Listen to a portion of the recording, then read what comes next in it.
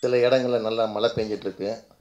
மழை பெய்கிற இடத்துலேருந்து வந்த மு- உறுப்பினர்களுக்கும் இந்த நேரத்தில் நாங்கள் வந்து நன்றி வணக்கத்தையும் தெரிவிச்சுக்கிறோம். இன்றைக்கி ரொம்ப பிஸி ஷெட்யூல்டு அபிராமி ராமநாதன் சாருக்கும் கதிரேசன் சாருக்கும். அவருக்கு கதிரேசனுக்கு வழக்கம் போல் கவுன்சிலில் பஞ்சாயத்து. பஞ்சாயத்து இல்லாதனால இல்லை.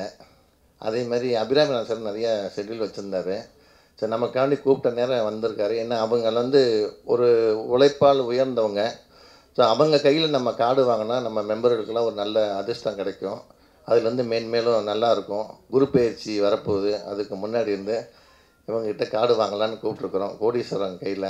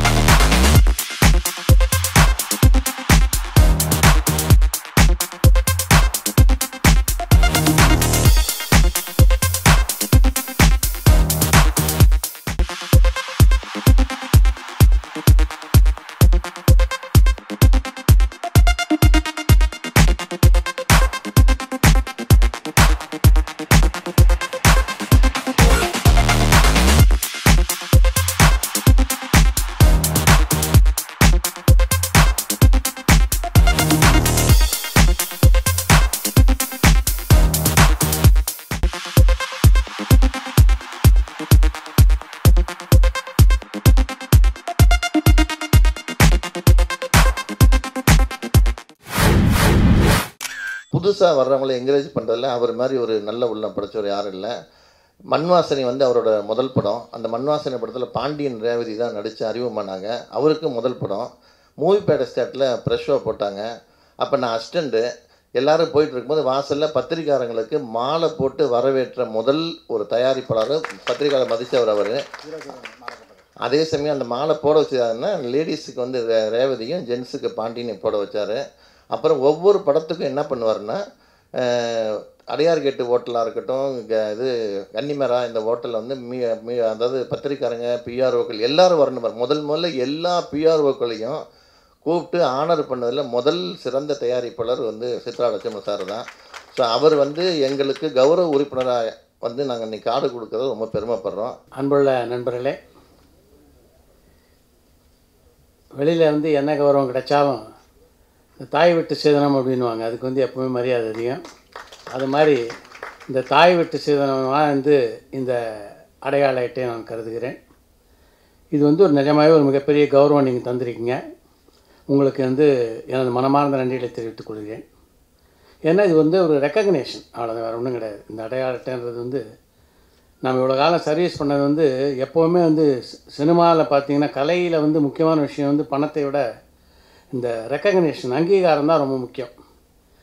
இந்த பிஆர்ஓ அசோசியேஷனை பொறுத்த வரைக்கும் நிஜமாகவே சிறப்பு அதாவது மிகவும் கட்டுக்கோப்பாக ரொம்ப அழகாக நடத்திட்டு வரீங்க.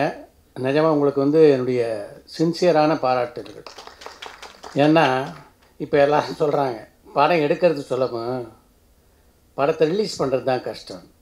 அதுதான் உண்மையான நிலைமை. அது மாதிரி தான் அசோசியேஷனும் அசோசியேஷன் ஆரம்பிக்கிறது சுலபம். நடத்துறது இருக்கு பாருங்கள் அது ரொம்ப கஷ்டம். ஏன்னா இங்கே எல்லாருமே அது பார்த்தீங்கன்னா இந்த பக்கம் அபிராமி ராமநாதன் சார் இருக்கார் நம்ம நண்பர் கதிரேசன் இருக்கார் எல்லாருக்கும் தெரியும். எல்லாரும் அசோசியேஷனில் வந்து அதை நடத்துறதுலையும் அந்த முறைப்படுத்துறதுலையும் எவ்வளோ பெரிய பிரச்சனைகள் இருக்குதுன்னு எல்லாருக்கும் தெரியும். அதுக்கு முக்கியமான காரணம் எல்லாத்தையும் இப்போ வந்து விஜயமுரளி சொன்ன மாதிரி தான் எலெக்ஷன் வரைக்கும் வந்து எல்லாருக்கும் வந்து எப்படி ஒன்றாலும் வேறுபாடுகள் இருக்கலாம். எலெக்ஷன் முடிஞ்சதுக்கப்புறம் எல்லாரும் ஒன்றா ஒரு எல்லோரும் சகோதரர்கள் அப்படின்ற ஃபீலிங்க்கு வந்தால் தான் அந்த அசோசியேஷன் சிறப்பாக செயல்பட முடியும். அது வந்து விஜயமுரளி சொல்லும்போதே நாங்கள் அப்படி இருக்கோம் நீங்களும் அப்படி இருங்க அப்படின்னு சொன்ன மாதிரியே எனக்கு இருந்தது. அது மற்ற மற்ற அசோசியேஷனில் இல்லாதது தான் மற்ற பல அசோசியேஷனில் பிரச்சனைகளுக்கு காரணம். அந்த வகையில் வந்து இந்த அசோசியேஷன் வந்து இருக்குன்னா அதுக்கு வந்து முக்கியமான காரணம் ஒரு பிரதர்லிஹுட் எல்லோரும் வந்து இந்த ஃபங்க்ஷனை பார்க்கும்போதே ஒரு எல்லாரும் ஃபங்க்ஷனுக்குன்னு ஒரு நிகழ்ச்சி நடல அப்படி இருக்கும் ஒரு ஃபார்முலாக இருக்கும். அது வந்து பா விஜயமுரளி கண்டக்ட் பண்ணாவே அந்த ஃபார்மல் இருக்காது. பெரும்பாலும் ஃபங்க்ஷனு இன்ஃபார்மல் ஆகிடும் அது அடுத்த கதை. பட் ஜென்ரலாக உங்களோட அந்த இருக்கும்போதே பார்த்தா ஏதோ நம்முடைய குடும்ப விழா ஒன்றில் வந்து பங்கு கொண்டோம் அப்படின்ற மாதிரி ஒரு நிறைவை வந்து இந்த விழா எனக்கு தந்தது. உங்களுக்கு ஒரு நான் ஒரு செய்தியை பகிர்ந்து கொள்ள விரும்புகிறேன். இப்போ சமீப காலமாக ஒரு டூரிங் டாக்கீஸ் அப்படின்னு ஒரு யூடியூப் சேனல் நான் வந்து தொடங்கியிருக்கேன். அதை வந்து நீங்கள் இந்த அசோசியேஷனில் வந்து எப்படி பயன்படுத்தி கொள்ளணும்னு நினைக்கிறீங்களோ அப்படி பயன்படுத்திக்கலாம். உங்களுக்கு வந்து அந்த சேனல் வந்து உறுதுணையாக இருக்கும் அப்படின்னு தெரிவித்துக்கொள்ள விரும்புகிறேன். அதே மாதிரி இந்த அசோசியேஷன் சார்பாக உங்களுக்கு என்ன உதவிகள் எப்போது க தேவைப்பட்டாலும் அதை வந்து நான் வந்து செய்து கொடுக்க தயாராக இருக்கேன் என்பதை இந்த நேரத்தில் தெரிவித்துக்கொண்டு உங்கள் எல்லாரையும் மீண்டும் ரொம்ப நாள் கழித்து பார்த்ததில் எனக்கு மிக்க மகிழ்ச்சி. நன்றியை தெரிவித்துக்கொண்டு விடைபெறுகிறேன். வணக்கம். எங்களுக்குள்ள ஒத்துமை வந்தது கவுன்சிலோட எலெக்ஷன் வச்சு தான் சார் ரெண்டாயிரத்தி மூணில் நான் சத்யஜோதி தியாகராஜன் சார் தலைமையில் இருந்த அணியில் போய் கமிட்டி மெம்பராக நின்னேன் ஆப்போசிட்டில் முரளிதரன் சார் இருந்தார். அதுக்கப்புறம் கே ராஜன் ஒரு அணி வச்சுருந்தாரு. பாபு கணேசன் நாலு அணி நின்றுச்சு பார்த்தீங்கன்னா எலெக்ஷன் ஓட்டு போகிற வரைக்கும் பெரிய காரசாரமாக இருந்தது. எலெக்ஷன் முடிஞ்சு கவுண்டிங் முடிஞ்சு எல்லாம் எண்ணி முடித்த உடனே சரிப்பா வாப்பா போல் எங்கே கிளப்புக்கு போகலான்னு ஆரம்பிச்சிட்டாங்க. உடனே உடனே கட்டி பிடிச்சிக்கிட்டாங்க. அப்படி இருந்த கவுன்சில் தான் பின்னாடி இப்படி மாறி இருக்கு. ஆனால் நாங்கள் நல்லதை மட்டுமே எடுத்துக்கிட்டு எல்லாருக்கும் நாங்கள் வேலை செஞ்சிட்ருக்குறோம் எங்கே போனாலும் எங்களோட வேலையை திரைக்க தயாரிப்பாளர்களுக்கும் இயக்குனர்களுக்கும் இருந்தாலும் சரி நடிகர்கள் நடிகருக்காக இருந்தாலும் சரி அதே சமயம் எல்லா அமைப்புகள் டிஸ்ட்ரிபியூட்டர்ஸ் அசோசியேஷனாக இருந்தாலும் சரி திரையரங்கு உரிமையாளர் சங்கமாக இருந்தாலும் சரி எல்லாத்துக்குமே எங்கள் மெம்பர் யாராவது ஒருத்தர் வேலை செய்கிறாங்க அதுக்கு நீங்கள் எங்களுக்கு கொடுத்துட்டு வர அந்த ஆதரவுக்கு இந்த மேடையில் நன்றி தெரிவிச்சுக்கிறோம். ஏன்னா நீங்கள் நினச்சா வேறு ஆள்லாம் போடலாம். நிறைய தடவை அப்படி தான் பேசியிருக்கேன் நான். எங்கள் மெம்பர் யார் வேணாலும் உங்கள் அமைப்புக்கு வச்சுங்க. பெப்சியாக இருந்தாலும் சரி அந்த டிஸ்ட்ரிபியூட்டர் அசோசியேஷன் எல்லாமே எங்கள் ஆளுங்களை வச்சு தான் பண்ணுறாங்க அதனால் நாங்களும் உங்கள் கூட உறுதுணையாக இருப்போம்னு இந்த நேரத்தில் தெரிவிச்சுக்கிறோம். அடுத்ததாக தமிழ் திரைப்பட தயாரிப்பாளர் சங்கத்தின் செயலாளர் கதிரேசன் அவர்கள். இந்த விழாவை சிறப்பிக்க வந்திருக்கும் அபிராமிராமன் சார் அவர்களுக்கும் மற்றும் அனைவருக்கும் இனிய மாலை வணக்கம். இது மிகவும் ஒரு சந்தோஷமான ஒரு விழா. ஏன்னா இந்த விழாவில் நான் இப்போ பத்திரிகை தொடர்பாளர் யூனியனில் வந்து இப்போ தான் ஃபஸ்ட் டைம் வந்து எல்லா விழாக்களையும் கலந்துருக்கிறேன். பட் இப்படி ஒரு அங்கீகரிக்கக்கூடிய ஒரு விழா அனைவரையும் கௌரவிக்கக்கூடிய விழா இதில் ரொம்ப கலந்துக்கிட்டதுக்கு ரொம்ப எனக்கு சந்தோஷமாக இருக்குது இதில் என்ன விஜயமொழி சார் தலைவராக இருக்கும்போது அடுத்த நிர்வாகிகளும் வந்து ஒரு சந்தோஷமாக என்ன விஷயம் பண்ணியிருக்காங்கன்னா அனைத்து உறுப்பினர்களையும் ஒரு கௌரவிக்கும் விதமாக அனைவருக்கும் சால்வை அணிவிக்கப்பட்டு அனைவருக்கும் ஒரு அடையாள கார்டு கொடுத்துருக்காங்க. அது மூத்த உறுப்பினர்களும் சரி இன்றைய இளைய தலைமுறையை அடுத்து வாழக்கூடிய இளைய தலைமுறைகளும் சரி அனைவருக்கும் ஒரு மரியாதையை கொடுத்து ஊக்குவிருக்காங்க இப்படி ஒரு நிர்வாகத்தில் இருக்கக்கூடிய விஜயமணி சார் அவர்களுக்கும் அந்த நிர்வாகத்தை சேர்ந்த அனைவருக்கும் தயாரிப்பாளர் சங்கத்தின் சார்பாக நான் நன்றி தெரிவித்துக் கொள்கிறேன். எப்பொழுதும் தயாரிப்பாளருக்கு உறுதுணையாக இருக்கக்கூடிய பத்திரிகை தொடர்பாளர்கள் அனைவரும் ஒரு படத்தை எப்படி கொண்டு போய் சேர்க்கறது அதுக்கு என்னென்ன போராடுறது அப்படின்னு எல்லாத்துக்கும் கூட வந்து இருந்துக்கிட்டு இருக்கிறீங்க. ஸோ இது தொடர்ந்து இருக்க வேண்டும். தயாரிப்பாளர்களுக்கு வந்து பக்க பழகமாக இருக்க வேண்டும். என்றும் பத்திரிகை தொடர்பாளர் யூனியனுக்கு தயாரிப்பாளர் சங்கம் என்றும் கூட இருக்கும் என்று நேரத்தில் கூறி விடைபெறுகிறேன். நன்றி வணக்கம். மேடையிலும் மற்றும் வந்திருக்கும் என் இனத்தவர்களே உங்கள் அனைவருக்கும் என் முதற்கண் வணக்கம். அது என்னையா என் இனம்? நான் ஒரே ஒரு இனம்தான். சினிமாவை காதலிக்கும் இனம். அதான் நம்ம இனம். அதோட போன தடவையும் அட்டை கொடுக்கறதுக்கு நான் தான் வந்தேன்னு நினைக்கிறேன். ரெண்டு வருஷம் முன்னாடி. அப்போ இவ்வளோ ஆடலியாக இல்லை. கூட்டமாக வந்து பாதி பேர் என்கிட்ட கையிலேருந்து பிடின்னு போயிட்டாங்க. காடை.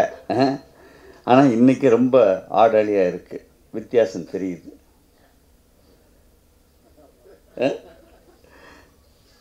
பொதுவாக நான் ஏதோ நிறைய கேட்டதுக்கெல்லாம் உதவி பண்ணுறேன்னு சொல்கிறாங்க ஏன்னா என்னையை பொறுத்த வரைக்கும் முத முதல்ல நான் பிஆர்ஓ வச்சுக்கினது நெல்லை சுந்தரராஜனை.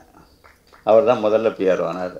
அவர்கிட்ட ஒரு பொறுப்பை கொடுத்துட்டா காலையில் மத்தியானம் ராத்திரி எப்போ வேணால் ஃபோன் பண்ணிக்கினே இருப்பார். அதனால் அவர் பேரை தொல்லை சுந்தரராஜன் நாங்கள் மாற்றிட்டேன் எங்கள் வீட்டில் அவர் தான் பண்ணுறாருன்னு அதனால் ஏன்னா சினிமாவை பொறுத்த வரைக்கும் நீங்கள் இல்லாமல் நாங்கள் இல்லை. எங்களுக்கு உங்கள் தொடர்பு இல்லாமல் முடியாது. பத்திரிகைக்கு நீங்கள் எப்படியெல்லாம் கொண்டு போகிறீங்களோ அப்படியெல்லாம் தான் எங்களுக்கு ரிசல்ட் வருது. ஏன்னா ஆள் பாதி ஆடை பாதி அதுதான் நான் சொல்லுவேன். அதனால் நீங்கள் கண்டிப்பாக தேவை. சினிமாங்கிறது எங்கே? இப்போ நீங்கள் உங்களில் ரொம்ப பேர் ப்ரொடியூசர் இருக்கா சொன்னாங்க. ரொம்ப சந்தோஷம். ஆனால் ஒன்றுங்க பேசிக்கலாக நான் வந்து தியேட்டர் ஓனர் தியேட்டர் ஓனர் அப்புறம் பார்த்தேன். டிஸ்ட்ரிபியூட்டர்ஸ் இப்படி சம்பாதிக்கிறாங்களே நம்ம டிஸ்ட்ரிபியூட்டர் ஆனால் என்னன்னு பார்த்தேன். டிஸ்ட்ரிபியூட்டர் ஆனேன். டிஸ்ட்ரிபியூட்டர் ஆனதுக்கப்புறம் பூரா பூரா எங்கேயோ சம்பாரித்து எங்கேயோ கொடுத்துட்றோமே ப்ரொடியூசர் ஆனால் என்னன்னு பார்த்தேன். ப்ரொடியூசர் ஆனதுக்கப்புறம் தான் பார்த்தேன் ஆகா ஒரு வழியாக தியேட்டரே இருந்திருக்கலாம் இது ஏன்டா இதுக்குள்ளே வந்தோம் அப்படின்னு. அதனால் நீங்கள் எத்தனை பேர் ப்ரொடியூசர் ஆனாலும் சரி என்ன ஆனாலும் சரி பேசிக்கலாக யூ ஆர் ஆல் பிஆர்ஓஸ் அதை மாற்றவே முடியாது யாராலும் என்னையும் அதனால் தியேட்டர் ஓனரில் என்னையை மாற்றவே முடியாது. அதோட இந்த தொழிலுக்கு நம்பிக்கைங்க. நம்பிக்கை இல்லாமல் வாழ்க்கையே கிடையாது. நம்பிக்கை தாங்க எல்லாத்துக்கும் ஆதாரம். இப்போ உங்கள் மனைவி வந்து இது என் பிள்ளைன்னு சொன்னால் அது உண்மை. இது என் பிள்ளைன்னு சொன்னால் அது நம்பிக்கை.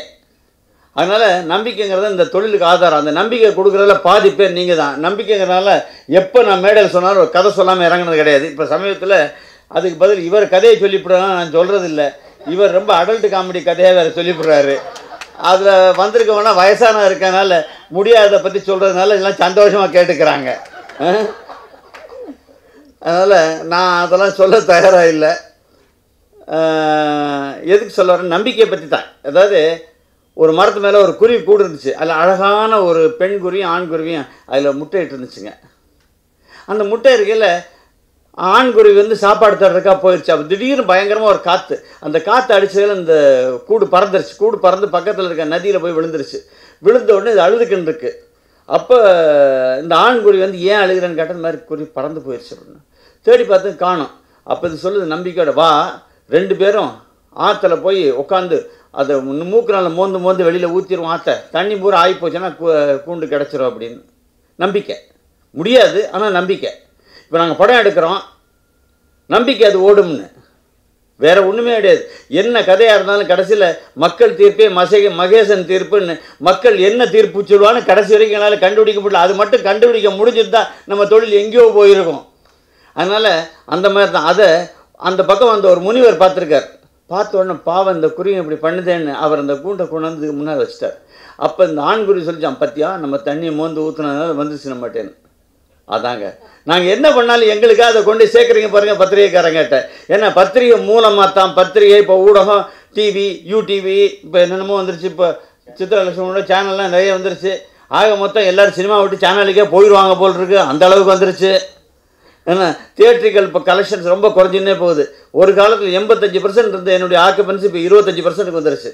அதனால் எப்போவுமே எதுக்குமே நான் எப்போவுமே ஏன்னா இந்த தொழிலை பொறுத்தவரைக்கும் ஒரு சாபக்கேடுங்க இந்த தொழிலுக்கு வந்தால் வேறு தொழிலுக்கு போகவே முடியாது. இந்த தொழிலே இருந்தால் கடைசி வரை சாகிற வரைக்கும் தான் தொழில். நான் என்னென்னமோ படிச்சிருக்கேன். பட் இந்த தொழிலுக்கு வந்து இப்போ நாற்பத்தி ரெண்டு வருஷம் ஆச்சு.